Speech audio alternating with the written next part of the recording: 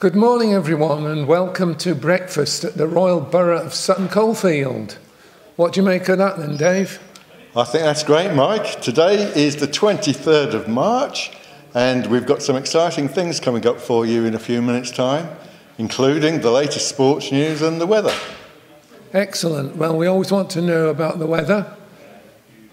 Over to the weatherman. Hello, and as you can see from the weather map today, there is a lot and lots of rain. Lots of rain. Ireland, it's pretty nice there. But here, around Sutton Coldfield area, somewhere around here, there's lots and lots of rain. Back to you, Dave and Mike, on the sofa. Well, thanks for that, Julia. Um, looks like we might be needing umbrellas today, Mike. What do you think? Yeah, it's certainly looking that way. Umbrellas at the ready and watch out for the puddles. Over to the news desk. It's Good News Week. Someone's dropped the bomb somewhere, contaminating atmosphere. Have you heard the news? no, what did it say? I can't remember. So it's back to the others on the bench. Okay, welcome back, and uh, we have a special guest for you now. Um, I'd like to introduce you to Donna, who's been. Pardon? Don't know. Don- Don't Donuts? know. Don't know. Don't Don't, know. don't, sorry, sorry. So here's, here's uh, Don- Donal, who, who's been on stage for the last 24 hours, um, playing with SpongeBob.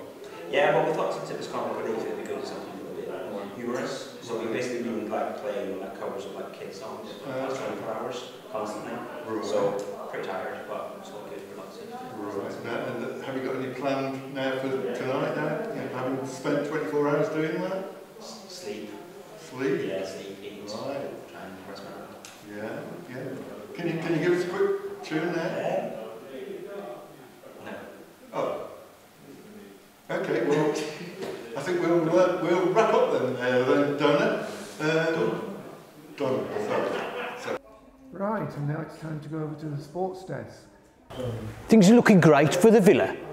Everybody's really looking forward to watching the Villa this weekend. And there's a horse for you, Dave and Mike. Make sure you get on it. It's called Sutton's Way. And if you get on that, you'll have a great weekend.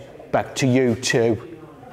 Well, there's some good sporting moments there. Um, my days of sports are uh, well behind me now, but uh, maybe Dave can. Uh, Well, after all those tips there, I think I'm going to nip out to Ladbrokes now and uh, you know put a few bob on.